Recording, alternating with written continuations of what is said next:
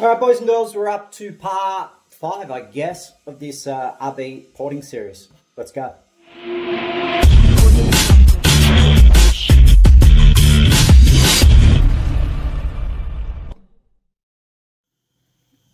All right, that's pretty close. They're all matched up now. Pretty good. So we're to remove we're to remove this template now and then we're to go into the port and sort the bottom of the divider out and start blending the rest and also getting the roof profile right. Um, so if we have a look here, hmm, got to fix that up, fix the sidewalls up. You can see that. Go from the top to that side, that side. And uh, remember to use the Old Faithfuls. These will help you every time. So you can do left to right, and then you know what's what. So then you can go right through the whole port, find all your tight spots or loose spots. All right. All right, so we've taken the plate off now. And we're going to go in and tidy the divider up. But I've noticed one thing. Whoever's ported this has, has done the cardinal sin as far as they've trenched right up through here. Um, the camera really can't see it, but there's an actual trench that goes up each side of the guide here. It's actually worse on this side than that side.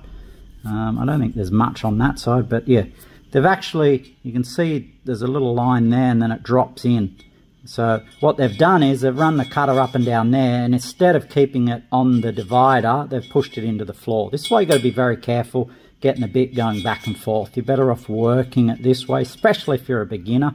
Until you're experienced and you know how to keep the load on the wall or off the floor or whatever, uh, try not to do this method when porting. Um, shape it and, and work in layers, inlay, and then come up here and so on. Um, but yeah, that's what they've done. So we're going to get in there try and tidy it up. You'll see as I port, it'll highlight that area. And I'm still on with no oil.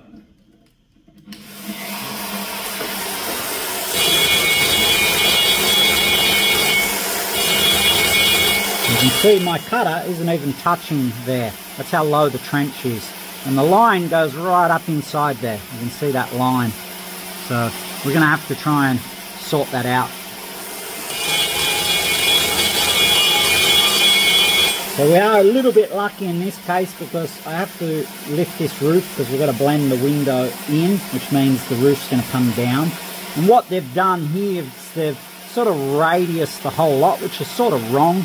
We want to go in straight and then start the turn before the guide.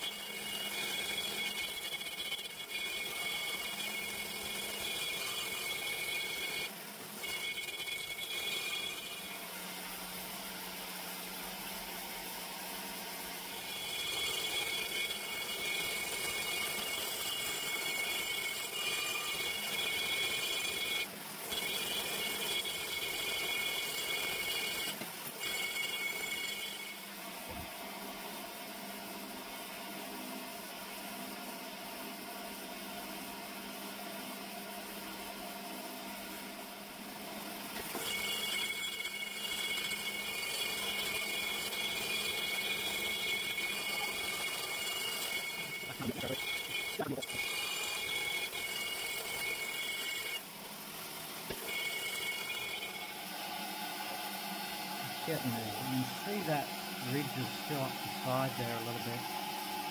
There's not much I can do with that because he's already made it too deep.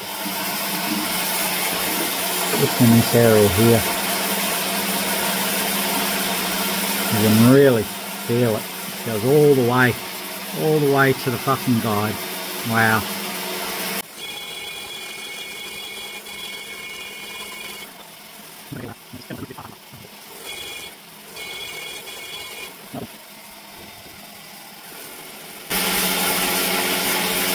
This one's not as bad. So the consistency is absolutely fucking terrible on this.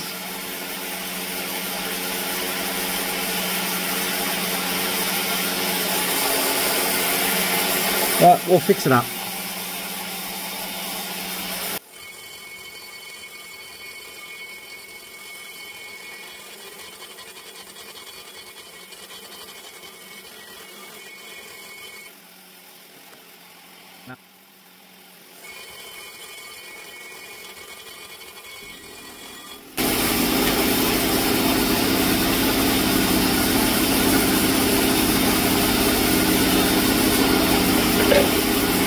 There's only so much I can do.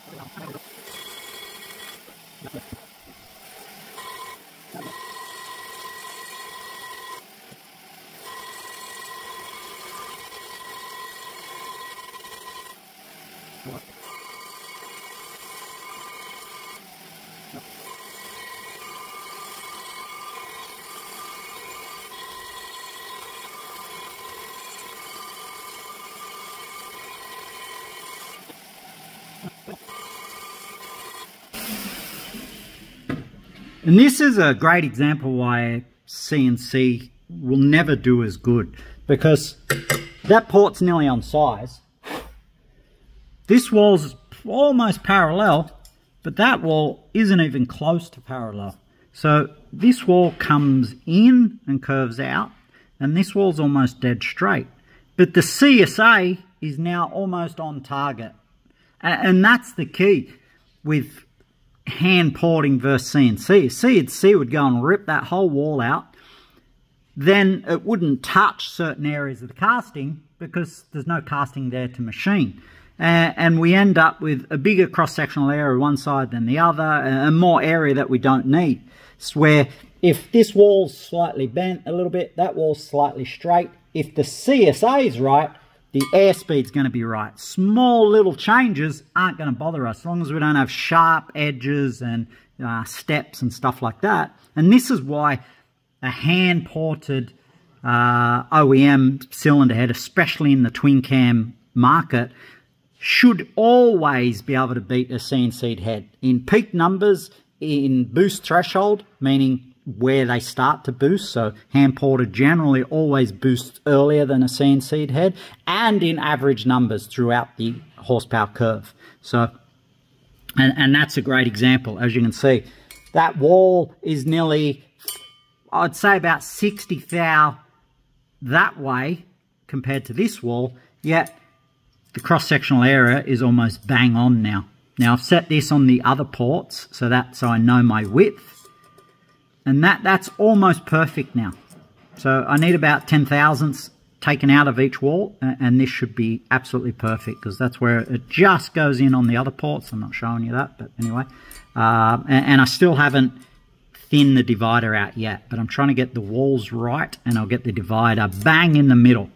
As I said, if it snakes that way slightly or snakes that way slightly, as long as the CSA is right, that's far more important than anything. You can have two walls at two different shapes, but the key here is the CSA. The key is what's going to control, uh, the, the CSA, sorry, is what's going to control how fast that air goes through. So if we have two different CSAs, not only we create a pressure differential, one's going to go faster than the other. There's going to be all sorts of problems. And we're, we're not helping that natural VE profile, which is why we port cylinder heads in the first place. So measure as you go, and don't be afraid if they're not exactly the same. You look at the two J's, see, at least in the RB, they consider this a symmetrical head. But when you go to two J's and stuff like that, one port's coming in that way, one port's coming in that way. So again, you're never going to get them the same, but as long as you get the CSA profile, the airspeed the same from port to port to port. And the best way to get the airspeed the same is the same diameter, same size, because everything is already set. The piston, the stroke, the RPM, your cam timing, you can't really change any of that. It's all set. So once we set this part all the same, we know the velocity is going to be the same through the cylinder heads from port to port. Again, even if they're slightly different, and I've said this time and time again, when you look at the core shift, some molds are up, some are down, some are left, some are right. Um, compensate for them as best you can, but don't go hogging a wall all the way out and making that area bigger just to get it looking straight. Uh, you, have gained nothing, and in fact, you've gone backwards. And, and it really is a newbie uh, mistake, so try not to fall into that mistake. All right, we'll keep going. Well, we'll call it a day, guys, and we'll get on the next one. Uh, I think we're going to hit the whiteboard, and, and I'll break down um, the CSA and, and, and shapes a little bit more, so hopefully you understand it. Catch us.